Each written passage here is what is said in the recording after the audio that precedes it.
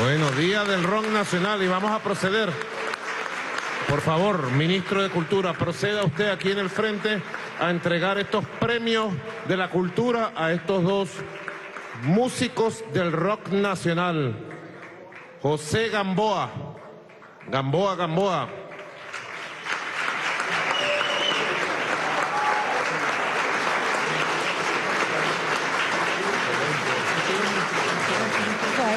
Artistas venezolanos destacados a propósito del Día Nacional del Wolfgang Rock. Rosa, Wolfgang Rosa es el bajista del grupo de rock Enigma, donde en la juventud nos encontramos.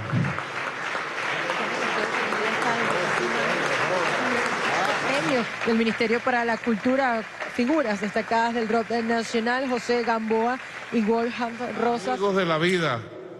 ¿no? En aquella época, ¿te acuerdas? En el programa de Iván Locher. Iván Locher, que para descanse Iván Locher. Tenía un programa en Radio Capital, de 10 de la noche hasta que el cuerpo aguantaba a 1 o 2 de la mañana, Locher, a Hugo. Y nos íbamos y nos presentábamos allá, Iván Locher nos abría la puerta y nos sentábamos en el estudio junto a Iván Locher, en el piso, y ahí, bueno, compartíamos con él, quizás uno de los hombres junto a Alfredo Escalante que más conocía de rock, más había estudiado las raíces del rock y todas sus implicaciones sociológicas en la vida, culturales en la vida. Los festivales de rock en el Teatro Los Cedros, allí en la Avenida Libertador, en Chacaíto, bueno. Y cuando fundamos el primer movimiento de jóvenes rockeros de Caracas,